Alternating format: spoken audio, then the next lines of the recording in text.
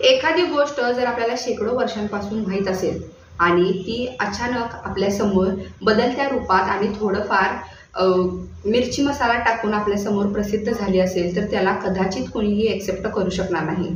आता मला नेमकं काय म्हणायचं आहे हे तुम्हाला थोडक्यात लक्षात आलंच असेल. मी बोलत आहे आदिपुरुष सिनेमाबाबत.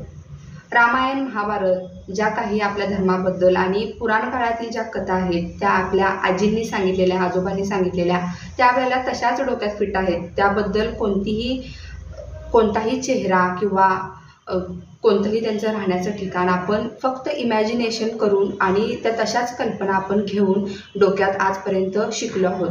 पण अचानकच काहीतरी भारदस्तपणा कर करण्याच्या हेतूने आणि पैसे मिळवण्याच्या हेतूने एक भन्नाट प्रकारचं एडिटिंग करून आपल्यासमोर कोणीतरी येत असेल तर त्याला कधीच कुणीही एक्सेप्ट करू शकणार नाही. आदिपुरुषच्या सिनेमाबाबत सुद्धा असंच झालं आहे. हा सिनेमा कोल्हापुरी भाषेत म्हणायचं झालं तर सप्पई गंडला आहे. नेमकं गंडण्याची काय कारण आहेत हे मी तुम्हाला शेवटपर्यंत व्हिडिओ पहा मी तुम्हाला सांगणार आहे. नमस्कार मी अर्पणा माने आणि तुम्ही पाहताय तिचा जागर न्यूज. राघवच्या भूमिकेत तुम्हाला प्रभास पाहायला मिळाला असेलच. पण प्रभू रामचंद्राची प्रत्येकाच्या मनात वसलेली प्रतिमा पाहता प्रभास कुठेतरी मिसमॅच वाटतोय. त्याचा राकट आवाजही त्याला शोभत नाही. कृती सेनॉनने चांगला अभिनय केला असला तरी ती सुद्धा एक मॉडेलच वाटत आहे. सैफ अली खान मात्र उगाच काहीतरी बाऊ करून भीती घालण्याच्या प्रयत्नाच्या नादात त्याचा पूर्ण रावण फसला आहे. देवदत्त नागेने मात्र संधीचं सोनं करून बजरंगाची भूमिका चांगलीच निभावली आहे. शूरपणकाच्या भूमिकेत मराठी अभिनेत्री तेजस्विनी पंडित दिसत आहे. कळ लावण्याचं काम तिनं मात्र चोख बजावलं असून सनी सिंहनं साकारलेला लक्ष्मीही बऱ्यापैकी बराच वाटतो. संपूर्ण चित्रपट स्टुडिओमध्ये शूट केल्याचं जाणवत आहे. आजवर आपण जे वाचलं ऐकलं आणि ओम राऊतने पडद्यावर रेखाटलेलं चित्र यात विरोधाभास मात्र जाणवतोय.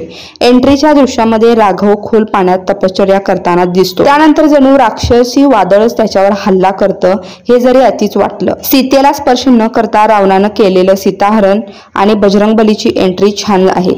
जटायू युद्ध उत्कंठावर्धक वाटला तरी जटायू हा नेमका कोणता पक्षी आहे याचा रिच रिसर्च कदाचित तिकडून कमी पडलेला दिसतोय.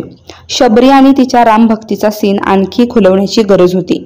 सीतेचं हरण केल्यानंतर तिला ज्या अशोकवनात ठेवण्यात आलं होतं तिथल्या सौंदर्याचं रामायणामध्ये केलेलं वर्णन ऐकूनही ती पाहण्याची इच्छा मात्र इच्छा निर्माण होते.